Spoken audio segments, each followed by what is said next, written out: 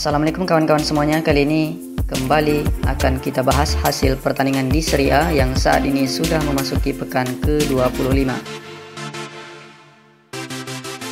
Dari hasil pertandingan pekan ke-25 kemarin Inilah perubahan klasmen untuk sementara di Serie A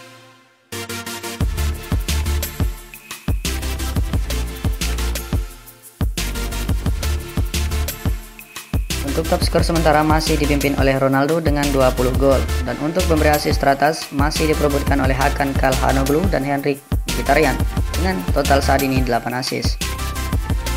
Hasil pertandingan Parma Calcio berhadapan dengan Inter Milan. Pertandingan ini dimenangkan oleh Inter Milan dengan skor tipis yaitu 2-1 dengan pencetak gol sebagai berikut.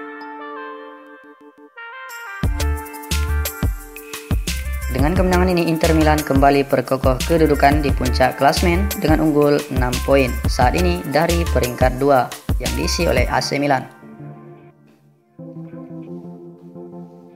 Jadwal pertandingan awal pekan ke-26 yang akan digelar pada 6 hingga 7 Maret 2021 antara lain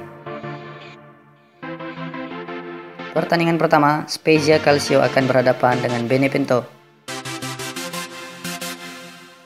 Pertandingan kedua, Udinese Calcio akan berhadapan dengan US Sassuolo. Dan di pertandingan ketiga akan tersaji big match, di mana Juventus akan berhadapan dengan SS Lazio. Inilah info hasil pertandingan di Serie A yang dapat admin sampaikan. Sekian dan terima kasih.